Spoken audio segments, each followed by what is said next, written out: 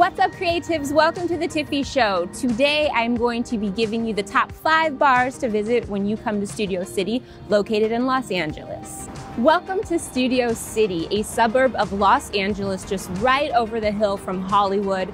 This wonderful area used to be called Laurelwood until 1927 when Mack Sennett, a film producer, bought a lot which is now the CBS Studio Center, and the area around it was renamed Studio City. I love Studio City because it offers everything in a small area. It has restaurants, bars, delicious desserts, fun things to do. You actually never have to go into the other parts of Los Angeles. And today we are going to be going over the top five bars to visit when you come here so that you can get your drink on and you never have to go to Hollywood. So come along with me. A wonderful way to get around in Studio City or anywhere in LA is the Birds. Um, they're motorized scooters that you can use an app and just get around place to place. And we're actually gonna go to our first bar on the Birds. After that, we'll be taking rideshare and Lyfts. But to get the experience, you can use these to go to restaurants or any attraction in Studio City. And they're a lot, a lot of fun. So just make sure that you use them before you start drinking, like we're going to do to our first location.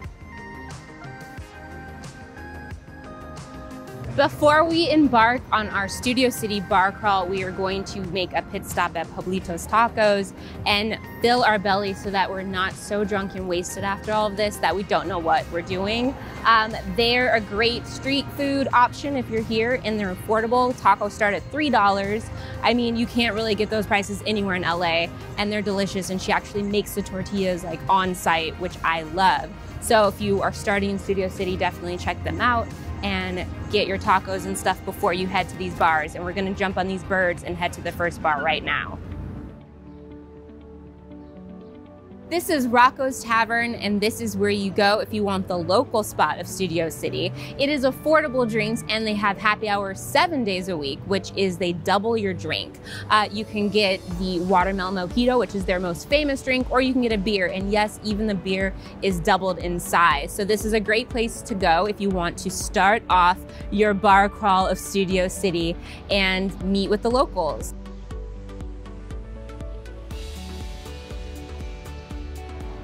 The Thirsty Merchant, another neighborhood gym. This is a great place if you want to go with a group of friends because they have games, they have beer, and of course, they have happy hour seven days a week. That means, yes, seven days a week, you can get your happy hour on and get drinks doubled for $2 or an extra drink for $2.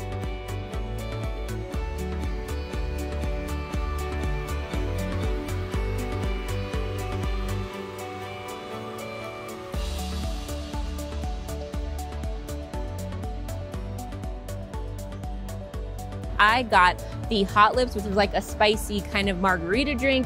I also got the flatbread pizza and I got garlic fries. And that is what I recommend that you get as well. It's again a great spot for friends. They have a lot of games to play on the outdoor patio, foosball, cornhole, uh, free popcorn, Jenga, Simon Says, you name it, you can play it here with your friends and it's a great spot to enjoy the sunset and Studio City.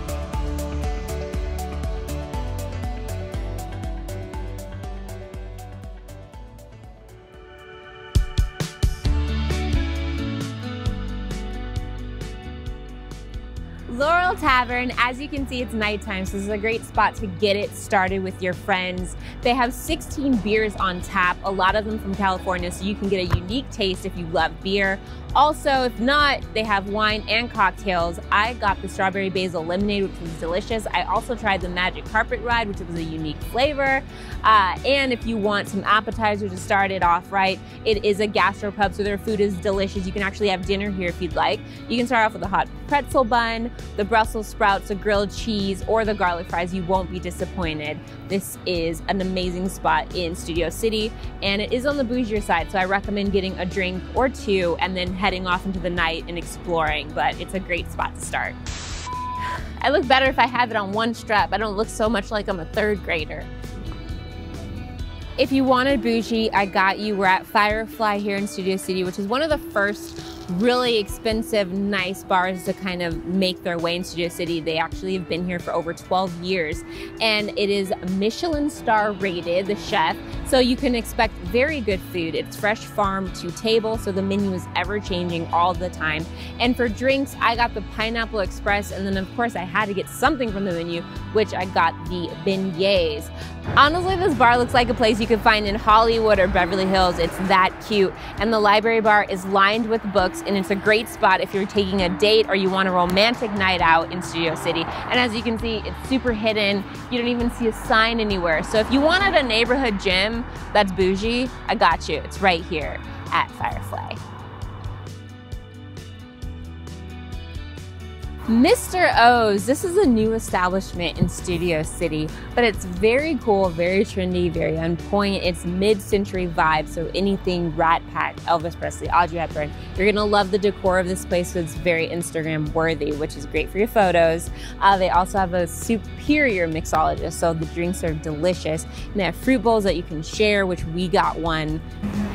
The cool thing, Mr. O's was open in honor of, of the cool thing about Mr. O's, it was open in the honor of the owner's father because growing up, they always talked about opening up a spot of their own that had a cool ambiance and a neighborhood friendly vibe. That's it. Those are the top five bars to visit when you come to Studio City. So make sure that you share, like, subscribe, and comment. Comment below. Let me know any places that you would like me to cover in this SoCal series. And I will see you next time. But before you go, make sure you turn on notifications because I will be posting another video on Studio City giving you the top five dessert places, or top four, it depends on my mood. But I'll be giving you the top dessert places to visit in Studio City so that you know what's poppin'. And I will see you next time. Stay creative.